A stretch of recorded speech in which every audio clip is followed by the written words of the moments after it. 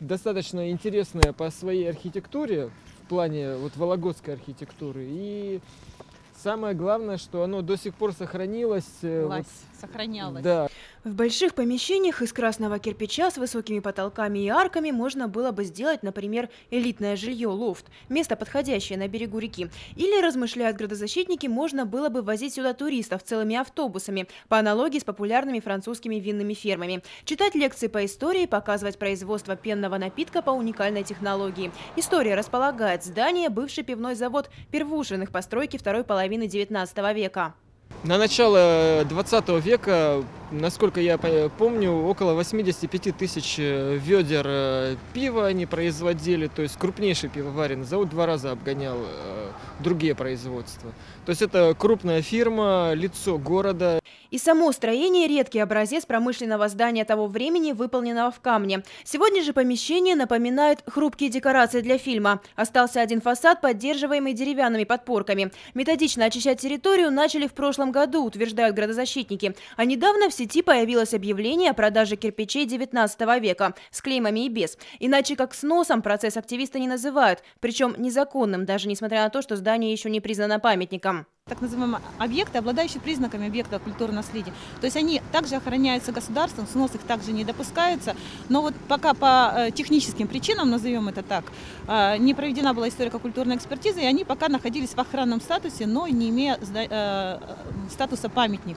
В администрации города от комментариев воздержались, дескать, все полномочия и вся ответственность у правительства области. То есть разрешение на работы должен был выдать Департамент культуры. А из неофициальных источников выяснилось, что соответствующий отдел при этом органе исполнительной власти региона был реорганизован и все работники уволены.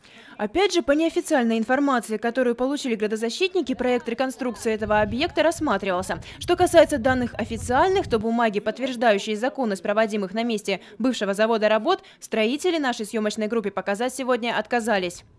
У меня задача оставить наружные стены. Так, значит, проект существует. Да. Значит, покажите его, пожалуйста. Потому что это не, э, не э, оставить наружные стены, это не значит не снести объект. Как нам было сказано, документы с разрешением, скорее всего, Департамента культуры лежат в одном из строительных вагончиков. Но полномочий у этого специалиста показать их нам нет. Градозащитники вызвали полицию, но и сотрудникам ППС бумаги сразу увидеть не удалось. Ключа на руках у строителей не было. Пока мы ждали хранителя доступа в злополучный вагончик, с проверкой приехали представители Вологда реставрации. Они подтвердили, все-таки проект имеется, и он предполагает демонтаж части здания. Перекрытия практически держались непонятно на чем. То есть в любой момент могло быть обрушение произойти.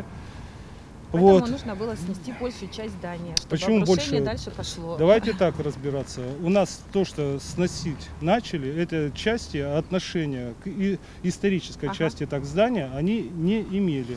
Историческая часть, по сути, фасад, который, по идее, должен остаться. А все остальное предполагается восстановить в соответствии с изначальным обликом здания. Вот только не рухнет ли фасад без существенной опоры до этого самого восстановления – вопрос, на который градозащитники сегодня так и не получили ответа. Дарьяна Финогенова, Василий Попурин. Новости Вологды.